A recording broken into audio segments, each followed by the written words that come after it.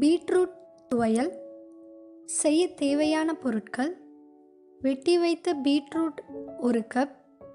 கடலைப்பருப்பு ஒரு table spoon. உளுந்தம்பருப்பு ஒரு டேபிள் ஸ்பூன். தேங்காய் துருவல் இரண்டு டேபிள் ஸ்பூன். இஞ்சி ஒரு துண்டு. புளி சிறிதளவு. வரமிளகாய் மூன்று.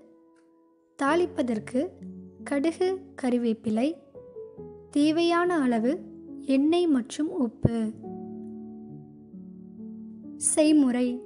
வானலியில் இரண்டு டேபிள் ஸ்பூன் எண்ணெய் விட்டு கடலைப்பருப்பு உளுந்தம்பருப்பு வரமிளகாய் மற்றும் இஞ்சி சேர்த்து வறுத்து எடுத்துக்கொள்ளவும்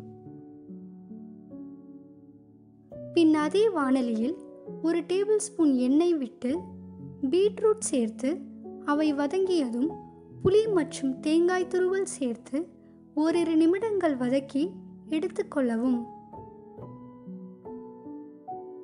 இவை நன்கு ஆறியதும் தேவையான அளவு உப்பு மற்றும் தண்ணீர் சேர்த்து கெட்டியாக அரைத்து கொள்ளவும். இறுதியாக இரண்டு டேபிள் ஸ்பூன் எண்ணெயில் கடுகு உளுந்தம்பருப்பு மற்றும் கறிவேப்பிலை சேர்த்து தாளித்தால் ருசி மிகுந்த பீட்ரூட் துவையல் தயார்.